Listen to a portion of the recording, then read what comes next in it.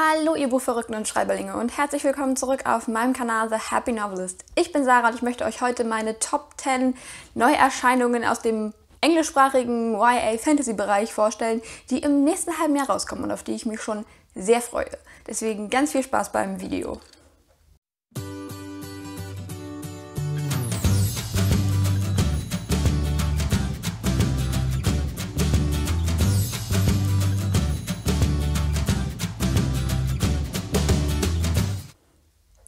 Das Jahr 2020 ist tatsächlich schon wieder fast zur Hälfte rum, was einerseits irgendwie schon gut ist, denn 2020 war doch ein etwas schwieriges Jahr, um es mal so auszudrücken.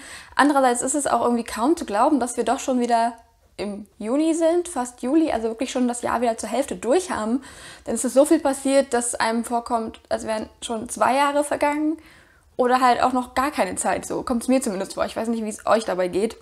Trotzdem dachte ich mir, es wird Zeit, jetzt nachdem auch von so gut wie allen Verlagen die Vorschauen draußen sind, wieder eine Neuerscheinungsreihe zu machen und heute bekommt ihr das erste Video dazu. Auch wie im Januar schon die Neuerscheinungen im YA Fantasy Bereich, also aus den USA und UK, ich weiß gar nicht, ob UK wirklich dabei ist, aber Hauptsache, hauptsächlich aus den USA, die dort neu erscheinen. Und ich habe mir zehn Bücher rausgesucht, die auch auf meiner Wunschliste stehen, auf die ich schon sehr gespannt bin und die alle sehr cool und unterhaltsam klingen und die möchte ich heute etwas näher vorstellen. Ja, und da es doch eine ziemlich lange Liste ist und ich einige Bücher durchzugehen habe, fangen wir gleich mal an. Wundert euch nicht, wenn ich ab und zu mal hier runter gucken muss. Ich habe meinen Laptop hier vor mir stehen, wo auch meine Wunschliste schon drauf ist, damit ich euch noch wirklich alles richtig erzählen kann. Und den Anfang macht The Princess Will Save You von Sarah Hanning. Das Buch erscheint am 7. Juli, also schon ganz, ganz bald. Und es ist quasi eine Neuerzählung von The Princess Bride, also die Braut des Prinzen. Das ist ja auch eine, tatsächlich ein Buch, aber vor allen Dingen bekannt sein sollte, glaube ich, der Film von William Golding oder so, Goldman. Also der ist schon sehr alt, aber trotzdem sehr geliebt und es gibt so ganz viele Zitate und Memes und GIFs dazu. Und ist auch ein wirklich toller und schöner Film, den ich auch auf DVD hier habe. Und dieses Buch interpretiert das Ganze doch etwas neu und etwas feministisch, wie auch der Titel schon verrät. The Princess Will Save You. Denn wir folgen hier der Prinzessin Amarande. Amarande? Amarande? Amarandi? Ja, so Fantasy-Namen sind manchmal schwierig, deren Vater auf mysteriöse Weise stirbt und in ihrem Land kommt Unruhe auf und sie ist tatsächlich erst 16 Jahre alt und steht vor einer schweren Entscheidung, denn das Nachbarkönigreich versucht sie dazu zu zwingen, eine politische Allianz durch Heirat zu gehen. Und um noch ein größeres Druckmittel zu haben, entführen sie ihre große Liebe, den Stalljungen Luca, um sie halt dazu zu zwingen, diese Ehe mit einem Fremden einzugehen und Macht über ihr Königreich zu erlangen. Aber was sie nicht wissen oder was ihnen vielleicht nicht so bewusst ist, Amarandi ist tatsächlich nicht als hilflose Prinzessin aufgezogen worden, sondern als Kriegerin. Und sie macht sich jetzt daran, nicht sich nicht unterkriegen zu lassen, sondern macht sich auf den Weg, um Luca zu retten und gleichzeitig auch ihr Königreich. Und allein der Titel und so diese Prämisse feministisches Princess Bride Retelling hat mich schon interessiert und begeistert. Und ich meine, dieses Cover ist auch wunderschön, aber einfach auch dieser feministische Spin an so ein geliebtes Märchen, also eine geliebte Geschichte. Und einfach mal, dass die Prinzessin nicht schwach im Turm sitzt und darauf wartet, gerettet zu werden, sondern dass sie diejenige ist, die das Retten übernimmt. Also, ich freue mich drauf. Ich weiß ja nicht, wie es euch geht. Und Feminismus ist, glaube ich, auch so ein Thema, was sich ein bisschen durchziehen will, zumindest auch beim nächsten Buch. Und das ist Cinderella is Dead von Kaylin Byron, das auch am 7. Juli erscheint. Und ich finde auch manchmal, dieses Cover ist doch wohl wunderschön. Es ist ein Märchenretelling, wie man vielleicht unschwer erkennen kann, Cinderella. Und das ist doch eine sehr düstere, sehr grausame Neuerzählung, Neuinterpretation des Märchens, denn das Ganze spielt 200 Jahre nachdem Cinderella ihren Prinzen gefunden hat.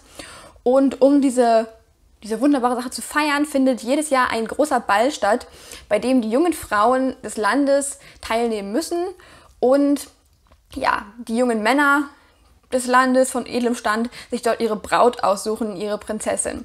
Nur die Mädchen, die dort nicht ausgewählt werden, verschwinden auf mysteriöse Weise.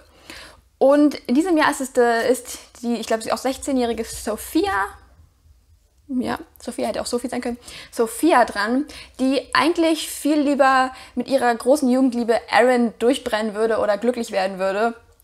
Und wie ich das verstehe, ist das, glaube ich, auch eine Female-Female-Romance. nur um dann diesem ganzen zu entkommen, dieser ganzen Prozession, dieses ganzen Prozesses und vielleicht auch einem grausamen, düsteren Schicksal, flieht sie von diesem Ball und versteckt sich im Mausoleum von Cinderella, wo sie dann Constance begegnet. Und Constance ist, wenn ich das richtig verstanden habe, ja, eine Nachfahrin von Cinderella und deren Stiefschwestern. Und zusammen versuchen sie jetzt, den König zu stürzen und dem ganzen Cinderella-Mythos, der ganzen Legende um Cinderella auf den Grund zu gehen und entdecken dabei vielleicht auch, dass es nicht so ist, wie es scheint und nicht so ist, wie, es, wie man es ihnen weismachen wollte. Ich meine, feministisches Cinderella-Retelling mit ganz viel Representation und diesem wunderschönen Cover. Äh, ich muss es haben. Einfach auch nur, ich liebe Märchennacherzählung und das klingt so nach einem richtig empowernden, nach einer tollen Geschichte, besonders auch, weil Cinderella eigentlich gar nicht so meine Lieblingsgeschichte ist, weil einfach ihr Glück ja darum besteht, dass sie den Prinzen findet. Und das ist, ja, nee, sehe ich in der heutigen Zeit nicht. Aber diese Geschichte setzt dem Ganzen, glaube ich, einen Spin, mit dem ich mich gut anfreunden könnte. Das nächste Buch habe ich tatsächlich bei einer Booktuberin aus dem amerikanischen Bereich entdeckt und war sofort intrigued und musste es sofort auf meine Liste setzen. Und zwar ist das Star Daughter von Shweta Thakra. Ich hoffe, ich habe das jetzt richtig ausgesprochen. Es ist auf jeden Fall ein Hindu-Name. Und das ist, also ich musste nur die Prämisse hören und war schon begeistert, denn das ist so eine Art Mischung aus Stardust von Neil Gaiman. Es gibt auch diesen, das Buch habe ich nie gelesen, aber es gibt diesen ganz, ganz tollen Film mit Claire Danes und Ben Barnes und oh, ich habe ihn als Kind geliebt und könnte ihn eigentlich immer wieder gucken. Und Hindu Mythology, also auch Mythologie und diese Stardust-Geschichte, denn die junge, wie heißt sie gleich, äh, Sheetal, ist die Tochter eines Menschen, menschlichen Vaters und eines Sterns. Und sie ist zusammen mit ihrem Vater auf der Erde aufgewachsen. Nur hat sie äh, ihren Vater jetzt etwas in Bedrängnis gebracht, in Schwierigkeiten, dadurch, dass ihre Sternenfähigkeiten aufgekommen sind und ihn ins Krankenhaus gebracht haben. Und nur die Macht eines vollständigen Sterns, wie ihre Mutter einer ist, könnte ihren Vater retten. Und so macht sich Sheeta auf den Weg zum Celestial Court, also zum Hof der Sterne im Himmel, und nimmt dort den Platz als Champion ihrer Familie ein, in einem Wettstreit der himmlischen Familien, um zu bestimmen, welche himmlische Familie wohl regieren soll als nächstes. Und sie muss dieses, diesen Wettstreit aber unbedingt gewinnen, denn sonst riskiert sie es niemals zur Erde zurückzukommen und ihren Vater nicht zu retten. Und das klingt so cool. Ich finde, dieses, dieses Cover ist traumhaft, wunderschön. Ich kenne mich in Hindu Mythology so überhaupt nicht aus, aber das klingt so spannend und so cool und diese ganze Prämisse mit einem Stern, der auch so quasi gefallener Stern, dass man eine Tochter von einem Menschen und einem Stern ist. So dieses ganze fantastisch mystische klingt einfach faszinierend und super interessant und dieses Cover. Also eine Geschichte, die mich super interessiert und die ich auch voll gerne bei mir einzeln lassen will. Buch Nummer 4, was ich für euch habe, ist Where Dreams Descend von Janelle Angelis und das erscheint am 1. September. Das wurde tatsächlich nach hinten verschoben. Eigentlich sollte das, glaube ich, auch im Juni oder Juli erscheinen, aber aufgrund der aktuellen Situation und dadurch, dass auch äh, die Auslieferungen im Verlag und so weiter beeinträchtigt sind, wurde dieses Buch nach hinten verschoben, aber solange es jetzt trotzdem rauskommt, können wir uns freuen. Ich meine auch mal hier wieder dieses Cover, also Cover Game ist wieder on point. Ich liebe ja sowieso US-amerikanische Buchcover im YA-Bereich, weil die einfach so wunderschön sind. Aber ich bin halt auch ein Coveropfer. Was will man machen? Aber auch hier klang die Prämisse ziemlich cool. Das ist so ein bisschen Richtung The Night Circus von Aaron Watt, nee, Aaron Morgenstern. Also es geht um drei verfeindete, konkurrierende Magier, die in einem Wettstreit bestimmen sollen, wer der nächste große Act eines magischen Zirkus werden wird. Und dabei geht es aber tatsächlich auch um Leben und Tod. Und wir haben drei Protagonisten, wenn ich das richtig verstanden habe. Also die, äh, der Klappentext gibt auch nicht so viel her. Aber wir haben auf jeden Fall The Star, Kalia, äh, ein mächtiges Showgirl, das beweisen will, dass sie die Beste ist, egal was es kostet. Dann The Master, Jack, ähm, der charismatische Besitzer des Clubs, der äh, mehr als nur eine Lüge erzählt oder hinter dem sich mehr als nur eine Lüge verbiss, ver, verbirgt. Und dann The Magician DeMarco, ähm, der zurückhaltende, etwas äh, düster, broody Richter, genau, mit einer dunklen Vergangenheit, die er nicht länger verbergen kann. Und diese drei Protagonisten bewegen sich auf einem Kollisionskurs, denn sie alle wollen wieder der Headliner werden und bei ihnen allen steht viel auf dem Spiel, dass sie zu beschützen bereit sind oder wo sie, wofür sie alles tun würden. Nur kommen da, wie ich das richtig verstanden habe, auch noch Gefühle ins Spiel, die das Ganze etwas komplizierter machen. Klingt spannend, klingt düster, klingt magisch. Auch so perfektes Buch für die Herbstzeit. Deswegen bin ich auch nicht ganz froh, dass sie das Ganze nach hinten verschoben haben und es dann so zum Herbst hin rauskommt. Denn ich glaube, das ist die perfekte Geschichte, um sie dann in dieser Jahreszeit zu lesen. Okay, ich habe gerade nochmal geguckt. Bei Amazon stehen nämlich zwei verschiedene Daten drin, halt den 1. September, den ich euch genannt habe, und auch der 25. August. Also wird es wahrscheinlich in diesem Zeitraum erscheinen. Und das ist wichtig, weil es sonst meine ganze Reihenfolge durcheinander bringt. Denn ich will noch ein Buch erwähnen, auch nur kurz erwähnen, weil es ein dritter Band einer Reihe ist, die rauskommt und auf die ich mich eigentlich schon sehr freue, besonders auf dieses Buch. Denn die anderen beiden, die beiden Reihe habe ich da oben irgendwo im Regal stehen. Beziehungsweise nein, ist so schlimm, ich jetzt hier.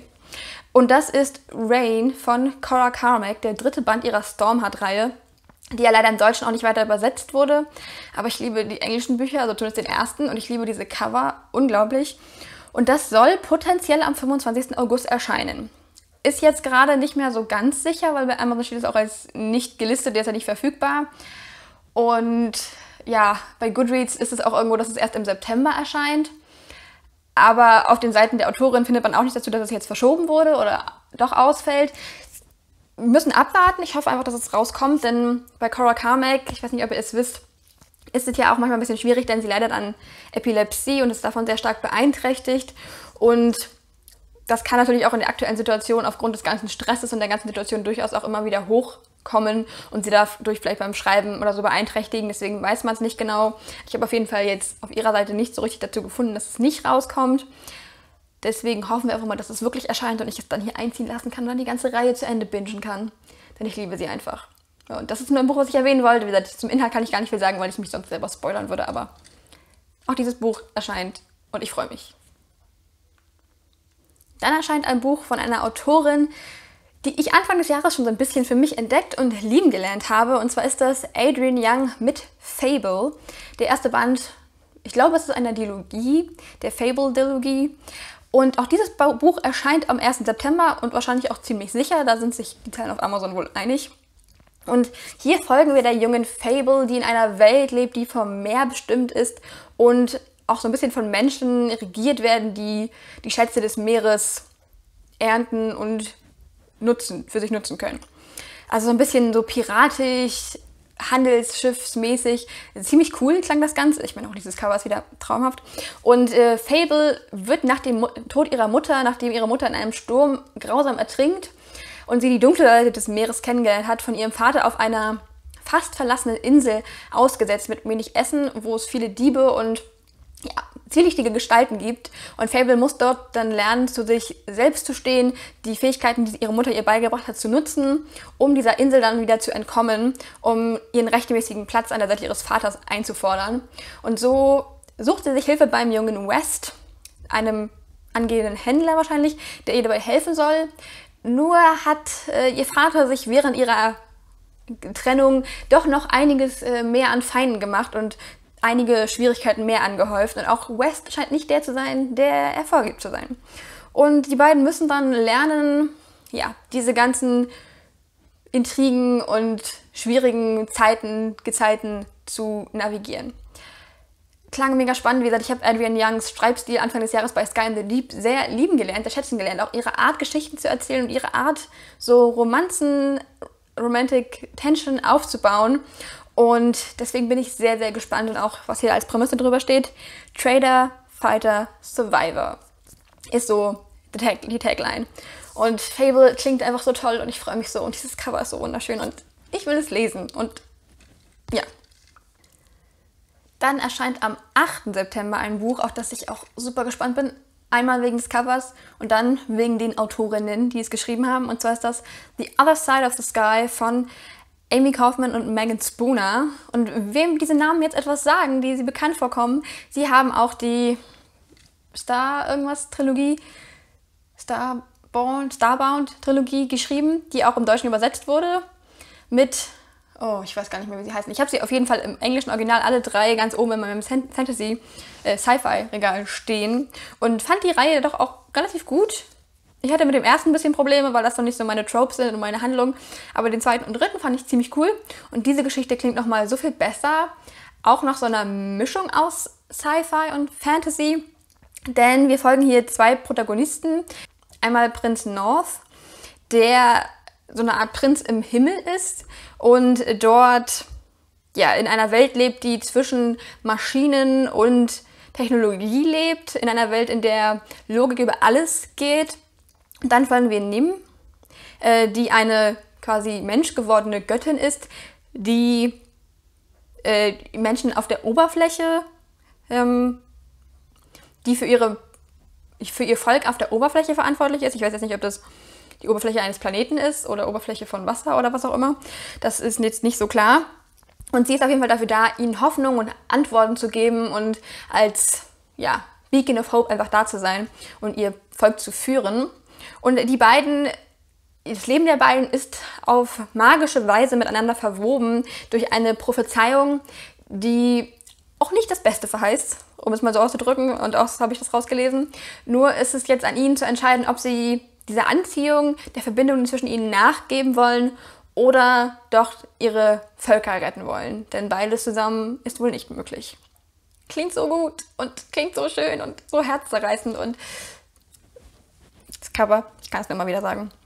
Und ich weiß auch, dass Amy Kaufman und Megan Spooner gut schreiben können, deswegen ich bin so gespannt und freue mich so. Und es ist so, klingt so gut. Und nach einer herzzerreißenden Geschichte Forbidden Love, die bestimmt auch noch mit sehr vielen spannenden Aspekten gespickt ist, denn es ist auch, heißt auch hier oben irgendwie, ähm, dass die Autoren an eine, eine ganz tolle Geschichte erschaffen haben äh, zwischen Magie und Logik, Schicksal und der eigenen Entscheidung und einer tödlichen Liebe. Also, wenn das mal nichts ist, dann weiß ich auch nicht. Bei den nächsten, beiden Büchern bin ich mir gar nicht ganz sicher, ob sie wirklich YA sind oder dass ich so ein bisschen in die ältere Schiene gehen. Also ich bin mir fast sicher, weil der Preis das doch auch immer ganz gut verrät, zumindest so im amerikanischen Bereich. Auf jeden Fall erscheint ein Buch, auf das, ich, auf das ich auch sehr gespannt bin, am 29. September nämlich. Und das ist A Deadly Education von Naomi Novik. Auch dieser Name sollte vielleicht einigen schon geläufig sein, denn sie hat äh, so Bücher geschrieben wie Spinning Silver und Uprooted. Ich weiß gar nicht, ob es das auch auf Deutsch gibt, aber im Englischen ist ja um diese Bücher, die auch so Märchenneuerzählungen sind, ein ziemlich großer Hype entstanden und viele lieben sie einfach. Und ich muss tatsächlich sagen, ich habe auch Uprooted noch auf meinem E-Reader und müsste es vielleicht mal lesen. Und ganz viele sind auch vom Schreibstil von Naomi Novik sehr begeistert und ihre Art, doch auch sehr komplexe, sehr vielschichtige, faszinierende Charaktere zu erschaffen. Und auch diese Geschichte klingt wieder danach, denn scheinbar folgen wir hier so einer Art Anti-Heldin, auf einer magischen Schule, A Deadly Education, lässt das ja schon vermuten. Und alle erwarten von ihr, dass sie die böse Hexe wird, zu der sie immer bestimmt war. Alle an dieser Schule. Und alle würden sich wahrscheinlich freuen, wenn sie ein großer Held oder ein besonderer Magier, der in dieser Schule ist, töten würde. Und zwar Orion Lake. Zwischen denen sie so eine, wahrscheinlich so eine Hassliebe verbindet, so eine Rivalität. Das klingt so raus, denn der erste Satz, den muss ich euch zumindest mal vorlesen, ist I decided that Orion Lake needed to die after the second time he saved my life. Also ich beschloss, dass Orion Lake sterben musste nach dem zweiten Mal, dass er mein Leben gerettet hat. Klingt super witzig und ich glaube auch, dass diese Beziehung zwischen den beiden Protagonisten oder mit der Protagonistin zu diesem Orion Lake sehr komplex und sehr nuanciert sein wird. Und auch ihre Art und ihr Weg, denn sie will es allen zeigen und allen zeigen, dass sie die Welt beherrschen kann ohne jetzt die böse Hexe zu werden, die alle von ihr erwarten. Aber trotzdem ähm, überlegt sie, ob sie nicht doch ein bisschen ihre bösen Kräfte äh, freien Lauf lassen sollte. Also ich kann das ganz schlecht beschreiben, weil eigentlich muss man sich, glaube ich, diese, den Klappentext durchlesen, um das irgendwie gut rüberzubringen. Aber es klang auf jeden Fall richtig spannend und richtig witzig auch irgendwie. Ich glaube auch so ein sehr trockener Humor, mit dem ich sehr viel anfangen kann. Und ich glaube auch die Protagonistin ist einfach spannend und da bin ich auch sehr, sehr gespannt drauf auf dieses Buch. Aber wie gesagt, ich muss vorher, glaube ich, mal Unbooted lesen, um zu überprüfen, ob Naomi Novik Schreibstil auch was für mich ist. Aber für alle, die das schon lieben, es kommt ein neues Buch von ihr raus. Und dann erscheint am 6. Oktober ein Buch, was schon jahrelang in der Mache war quasi. Und zwar The Invisible Life of Addie LaRue von V.E. Schwab. Wer V.E. Schwab auf Twitter folgt oder vielleicht auch auf Instagram so ein bisschen, aber hauptsächlich auf Twitter, wird mitbekommen haben, dass dieses Buch wirklich ihr schon jahrelang, jahrzehntelang im Kopf herumschwirrt und sie auch wirklich hart dafür gearbeitet hat, dieses Buch runterzuschreiben, die Geschichte so zu erzählen, wie sie sie wollte und auch hart daran gearbeitet hat, sie zur bestmöglichen Geschichte zu machen. Und ja, ähm, ich weiß gar nicht so viel, außer dass es tatsächlich so eine Art faustianischer Deal ist, der in den ein junges Mädchen mit einem Dämon eingeht. Und ich muss kurz gucken, wie sie heißt. Ah ja, Eddie LaRue steht auf dem Cover. Manchmal, manchmal wirklich. Ähm, und Eddie LaRue geht tatsächlich einen Deal mit einem Dämon oder vielleicht sogar mit dem Teufel ein, der ihr ewiges Leben ermöglicht. Allerdings hat das Ganze natürlich einen Haken, denn jeder, der sie trifft, vergisst sie gleich danach wieder. Das heißt, niemand erinnert sich daran. Sie geht so durch die Welt und durch die Geschichte und ich glaube, wir folgen auch so 300 Jahre ungefähr. Nur erinnert sich niemand daran, dass sie je existiert hat und dass er sie je getroffen hat. Bis sie dann eines Tages auf einen Jungen trifft, der sie doch wieder erkennt. Ja, alles, was ich weiß, alles, was irgendwie spannend und interessant klingt und dieses Buch auch, glaube ich, sehr besonders macht. Ich muss zugeben, in der Schule fand ich Faust einfach furchtbar. Ich bin sowieso kein Goethe-Fan. Steine ich mich dafür. Von mir ist es mir egal, aber ich stehe dazu. Aber dieses Buch klingt doch auch interessant, auch wenn ich mit V.E. Schwab jetzt zumindest in ihrer Darker Shade of Magic Reihe noch nicht so richtig warm geworden bin. Aber trotzdem ist das auf jeden Fall mal eine Geschichte, die ich mir genauer angucken will und für alle ihre Fans doch sicher etwas, das sich zum Anschauen lohnt. Und ich bin mir auch fast sicher, dass das ins Deutsche auch übernommen wird, einfach weil V.E. Schwab inzwischen so eine große, beliebte Autorin ist und auch diese Geschichte doch noch etwas klingt, was bei uns in Deutschland sehr gut funktionieren kann, wenn ich meine, Faust kommt ja von hier. Und diese Dämonen-Deal-Sache klingt auch eigentlich ziemlich spannend. Ist auf jeden Fall sicher mal ähm, interessant, sich das mal anzuschauen. Und das fast letzte Buch ist auch ein Buch, auf das ich schon sehr gespannt bin. Ich sage fast, weil da kommt gleich noch, noch ein Honorable Mention, aber dazu gleich mehr. Auf jeden Fall erscheint passend zu Halloween am 27. Oktober Kingdom of the Wicked von Carrie Maniscalco. Carrie Maniscalco ist auch die Autorin der Stalking Jack the Ripper Series. Also Stalking Jack the Ripper, Hunting Prince Dracula, Escaping from Houdini. Diese Bücher, die, glaube ich, nicht im Deutschen, äh, ins Deutsche übersetzt wurden, aber doch im englischsprachigen Raum polarisieren, muss man sozusagen. Manche lieben sie, manche finden sie ganz furchtbar. Aber ich bin durchaus noch intrigued, aber besonders jetzt von diesem neuen Buch, Kingdom of the Wicked. Denn in diesem Buch folgen wir zwei Schwestern, Emilia und ihre Zwillingsschwester Vittoria, die beide Streke sind. Streke, ich hoffe, ich spreche das richtig aus. Also Hexen, die versteckt unter den Menschen leben und auch so normal wie möglich zu sein scheinen bis eines Nachts ähm, Vittoria nicht rechtzeitig zum Dienst im Familienrestaurant erscheint und Emilia sich auf die Suche nach ihr macht. Und sie findet sie dann tatsächlich auch grausam ermordet und zugerichtet. Emilia ist natürlich verzweifelt und weiß nicht, was sie tun will und versucht alles daran zu setzen, den Killer ihrer Schwester zu finden, auch wenn sie dazu die verbotene schwarze Magie anwenden muss. Und dann trifft sie auf Wrath, einem Wicked, also einem der Prinzen der Hölle, wo ich mir dachte so, what? Genial, mega cool. Von dem sie eigentlich schon seit sie denken kann in Geschichten gewarnt wurde. Doch er scheint ihr helfen zu wollen, denn er, scheinbar hat er von seinem Oberhaupt, seinem Boss, den Auftrag bekommen, diese Serie von Morden an jungen Frauen aufzuklären. Doch ist es wirklich so oder hat Wrath nicht sogar vielleicht etwas damit zu tun? Und das äh, klingt doch wohl richtig gut. Gruselig, schaurig, witchy, aber auch irgendwie faszinierend und es um die Prämisse ist einfach auch, hat mich schon gecatcht. Denn Too Serious, One Brutal Murder, A Quest for Vengeance that will unleash hell itself and an intoxicating romance. Also zwei Schwestern, ein brutaler Mord, eine Suche nach Rache, die die Hölle selbst loslassen wird Allein das war schon so, okay. Und dann als Unterpunkt noch eine faszinierende, mitreißende Romanze. Und da bin ich ja immer mit an Bord. Also, ich freue mich und es ist wirklich so ein perfektes Halloween-Buch, worauf ich mich richtig freue, denn ich liebe eigentlich auch so Hexengeschichten, wenn sie gut gemacht sind. Und das klingt auf jeden Fall danach.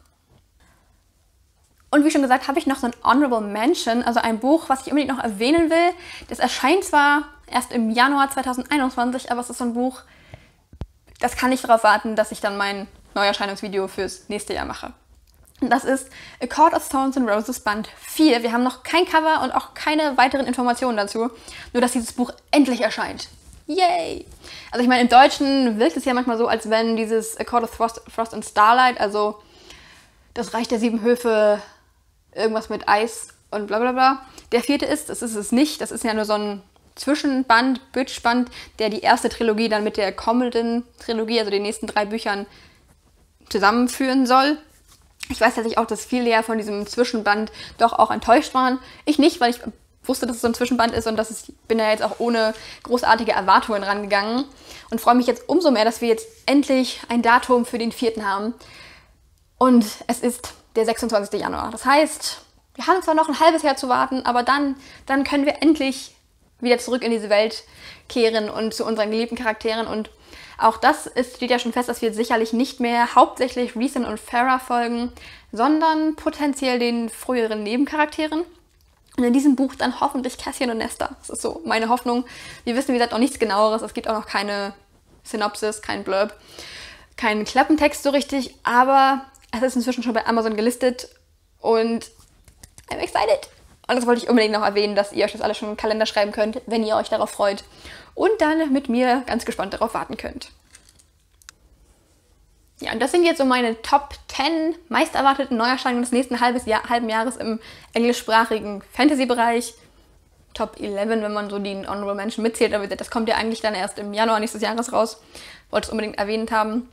Waren auch für euch einige spannende Sachen dabei, von denen ihr vielleicht noch nicht wusstet oder von, auf die ihr euch jetzt auch freut, die auf eure Leseliste gewandert sind, dann schreibt es mir gerne in die Kommentare und auch, wenn ihr noch so andere Bücher habt.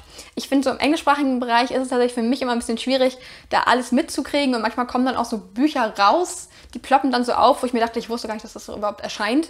Aber einfach auch, weil ich mich da nicht so in die Vorschauen einarbeite, sondern das meiste eher auch durch andere Booktuber im englischsprachigen Bereich oder halt auch, dass ich viel durch Amazon erfahre, wenn er mir dann anzeigt, oh übrigens, hier kommt das und das noch raus. Ich bin so, gut zu wissen. Schön, dass du mir das auch mal sagst. Also wenn ihr da noch irgendwelche coolen Bücher habt, schreibt sie mir auch gerne in die Kommentare, auf die ihr euch besonders freut. Und ansonsten hoffe ich, euch hat das Video gefallen. Und wenn ja, dann lasst mir gerne einen Daumen nach oben und einen Like da. Und wir sehen uns ganz bald in einem neuen Video wieder. Bis dahin, macht's gut.